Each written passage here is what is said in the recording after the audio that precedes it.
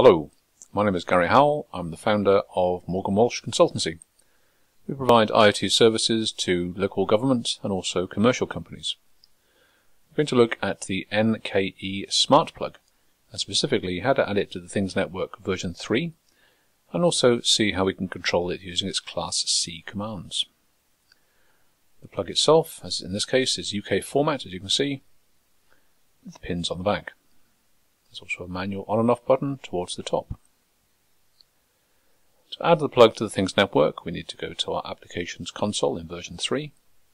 Here we've already created our Smart Plug application, so we're going to go to End Devices, Add End Device, and select Manually. Here we select over-the-air activation, LoRaWAN version 101, and click the Start button. On the screen, type in your end device ID, copy and paste your app EUI, your dev EUI, and type in your end device name. Click Network Layer Settings.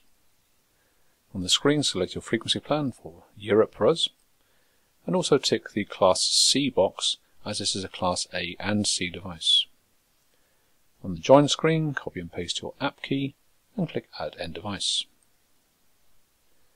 Go to the Live Data tab and here we can see the device has been created. Going back to the physical plug, we're going to plug it into our power source when the plug will attempt to join the network. So here we see the join request which has been accepted in the console. Now we plug in our load and we're going to press the manual on and off button to turn the plug on. As you'll see the device lights up and the plug sends an uplink message uh, to show that the plug has been turned on. So here in yellow is the payload and in green is the status of the plug which is 01 which indicates it's turned on. Also note the F port number of 125, which we'll come back to later. Now use the switch to manually turn the plug off. You'll notice that the load goes off and a new message appears in the console with a similar payload and the status is 00, which shows that the plug is in fact turned off. I'll demonstrate the uh, downlink messaging so for downlink messaging, we require two things. One is the F-port number, and also a suitable payload. So in our case, we're going to use F-port 125, as already mentioned, and the payload will be formatted as an instruction for the plug to either turn on or off, or in the first case, we're going to toggle the plug from its current state to a new state. So in our case, from off to on. So select messaging, downlink, Type in the port 125 and the payload and note the code on the end 02 which is the instruction to toggle the device. We now click schedule downlink. Notice the load turns on and back on the live data screen we can see the downlink message and also the upload uh, payload including the status of 01 which shows the plug is on. Now we're going to turn the plug off specifically.